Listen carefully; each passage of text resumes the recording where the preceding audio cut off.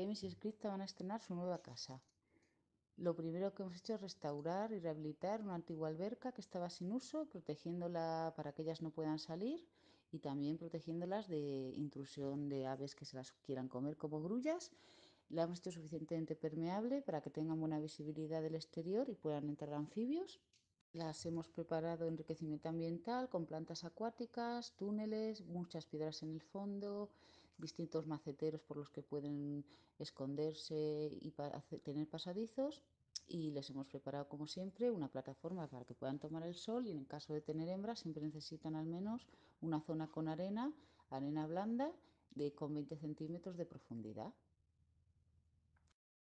He querido espiarlas en sus primeros momentos, así podemos verificar el estado de las plantas acuáticas, la limpieza del estanque ya os comentaremos cómo se realiza en otro vídeo. Eh, bueno, hemos visto la hierbabuena, los nenúfares, que Scripta enseguida se ha puesto a romperlos sin piedad. También hemos visto otras plantas oxigenantes y el lirio de agua que es muy bonito y les ha gustado mucho, sobre todo a la rana.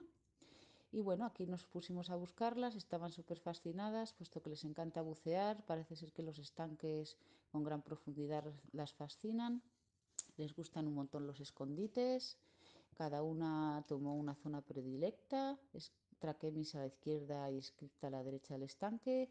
El estanque tiene como 3 metros 20 por 1,40 por uno de alto. Por uno de alto, unos 3 metros cúbicos o más. Parece que puede ser suficiente para ellas.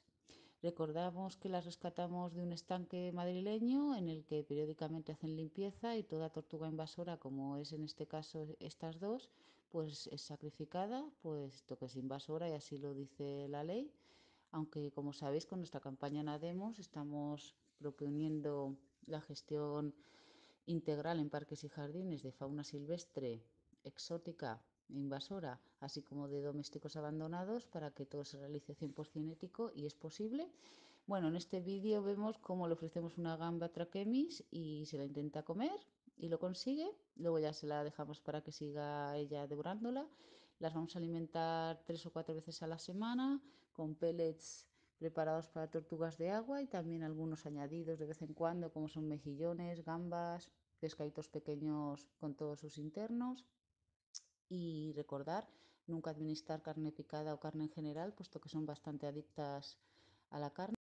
Aquí vemos a Scripta buceando encantada, que es una tortuga bastante tímida, la hembra. Y bueno, ya os contaremos en más detalle con más solecito otras maravillas de tener un estanque. Ahí se ve el comedero.